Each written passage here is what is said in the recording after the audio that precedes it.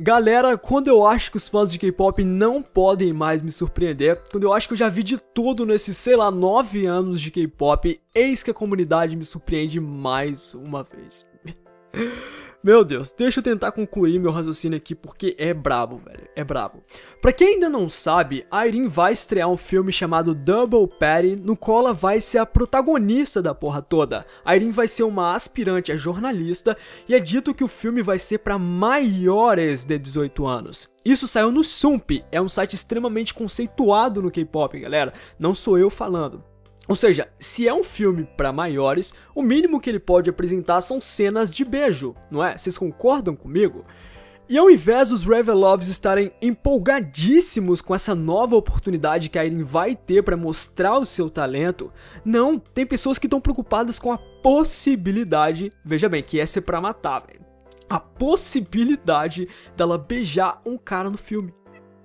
meu, mano, mano do céu, velho. Ah, essa é pra matar mesmo.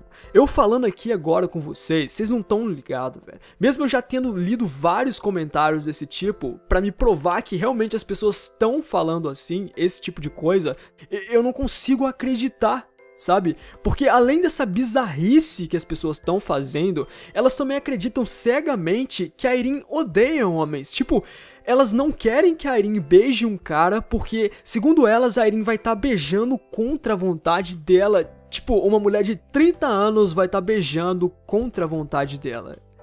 Galera, sério, eu fico pensando assim, como tem pessoas que podem pensar desse jeito? Se, sério, se isso passou um dia pela sua cabeça, que a Irene não gosta de homens, reflita bem sobre isso porque você pode estar muito errado. Presta atenção.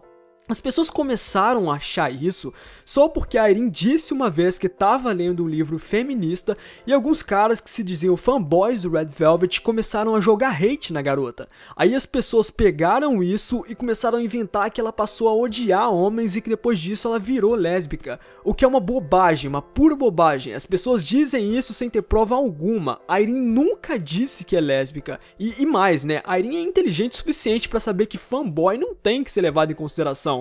Eles não representam os homens, ela sabe disso.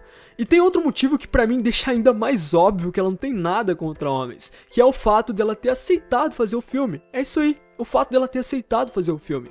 Vocês acham mesmo que se ela odiasse homens, ela toparia fazer um filme que tem beijo? Irene? Sério, galera?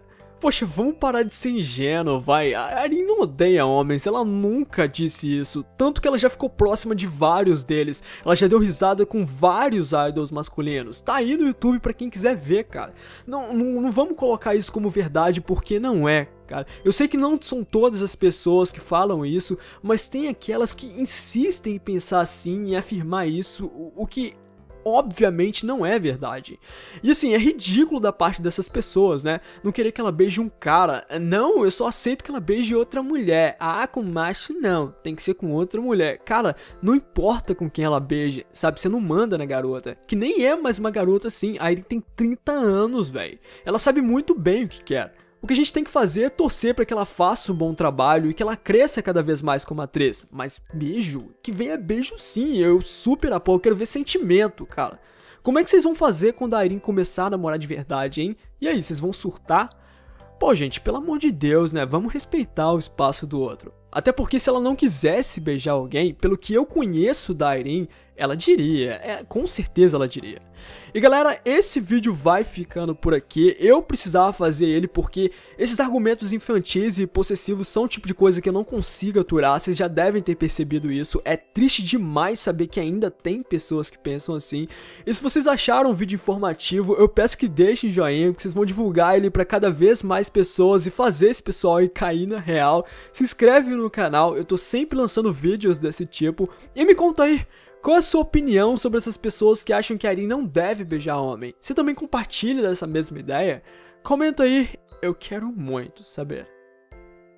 Por favor, se inscreva no canal e deixe o like no vídeo pra ajudar hum, e a divulgar.